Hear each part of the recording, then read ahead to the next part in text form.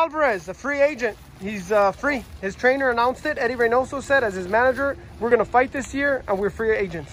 Oh, so they're done with uh, De La Hoya and uh, uh, uh, DAZN? That's what it sounds like. Wow. That's no big. lawsuits?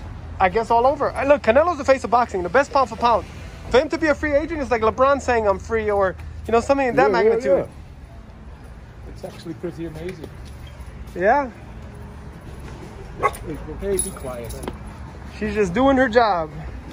Henry, can I bring the dog in? Yeah, all you do is tell us to get the hell out. She has to learn to be socialized, Paul. Once, once she shows socialized. How's it going? What's up? Hello, hello. What's up? Look who's here. How's it going? You heard Canelo's a free agent. Dang, that's gonna change boxing. Badass. That's big news. Badass. Like, wow, that's that's huge news. Think about Golden Boy. How are you? How you guys doing? You heard Canelo's a free agent. I know, I heard that. What do you think about that? I think it's great. You know, Why? Opportunities. He has different opportunities now. It's good.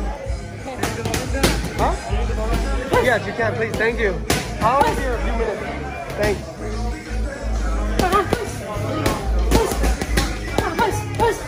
Thank you. I'm Yeah. Okay, it's cool. But uh, did you expect that news or it shocked you like everybody else? I already knew he was trying to sue them, so I mean, like it was out there, so I figured they were gonna. But this it. fast, I thought it was gonna be a I few thought it would years. Take like two to three years, maybe.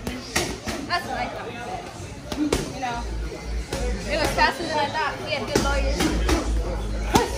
So now who do you want to see him fight? Charlo, Benavidez,